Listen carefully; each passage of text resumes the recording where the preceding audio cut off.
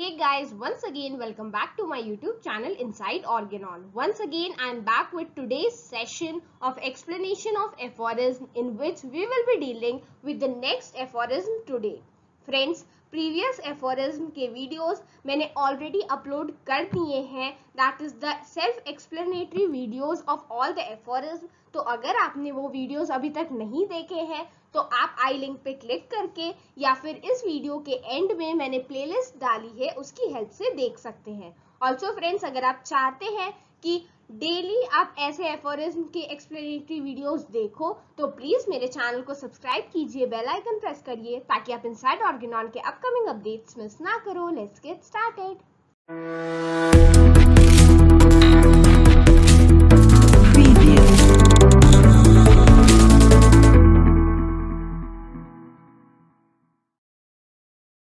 friends, let's see what Dr. Hahnemann has tried to explain us with the help of aphorism number 23.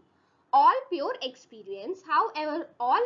accurate research convince us that persistent symptoms of the disease are far from being removed and annihilated by opposite symptoms of medicines. तो यहाँ पर doctor Hahnemann कहना चाहते हैं कि ये एक accurate research है जो हमें कन्विंस करती है दैट अगर कोई परसिस्टेंट सिम्टम्स हैं डिज़ीज़ के तो उनको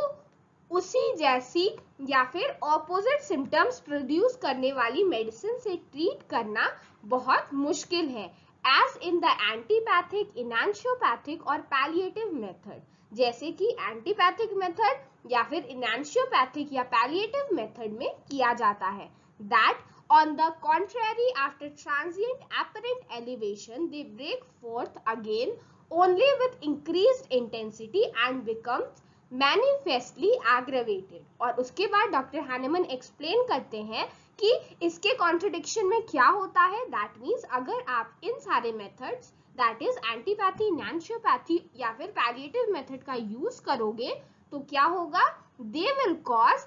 apparent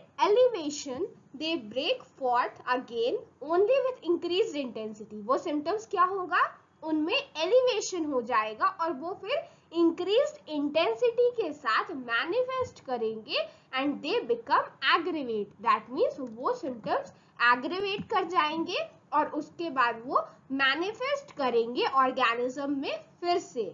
so basically in aphorism number 23 dr hanneman has tried to explain कि हमें कभी भी opposite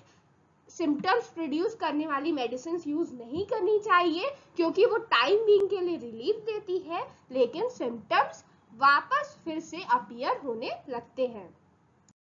So friends, this is all about today's session of explanation of aphorism. I hope this video was helpful. अगर आप चाहते हैं कि मैं ऐसे और वीडियोस अपलोड करूँ तो प्लीज़ मेरे चैनल को सब्सक्राइब कीजिए बेल आइकन प्रेस करिए ताकि आपके अपकमिंग अपडेट्स मिस ना हो ऑल्सो फ्रेंड्स अगर आप चाहते हैं एक्सप्लेनेशन ऑफ़ एफोरिज्म के और वीडियोस देखना प्रीवियस वीडियोस देखना तो आपको जो स्क्रीन पे प्लेलिस्ट दिख रही है आप उस पर क्लिक करके उसे विज़िट कर सकते हो थैंक यू